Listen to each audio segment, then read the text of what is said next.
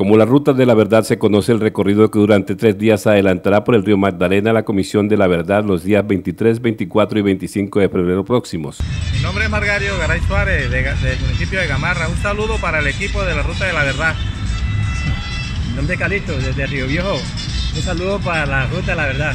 Conversaciones, muestras culturales, rituales, tejeduría de atarraya, siembra de árboles y talleres de cocina harán parte de esta ruta de la verdad en su recorrido por el Magdalena Medio. Mi nombre es Diógenes Pote de Barranca Bermeja. Un saludo muy especial para la Ruta de la Verdad. Mi nombre es Robinson Vergara de Puerto de Río. Un saludo muy especial para la Comisión de la Verdad. Muchas gracias. La Ruta de la Verdad recorrerá municipios como Río Viejo, Gamarra, Cerro Burgo, San Pablo, La Dorada, Boyacá y Puerto Berrío.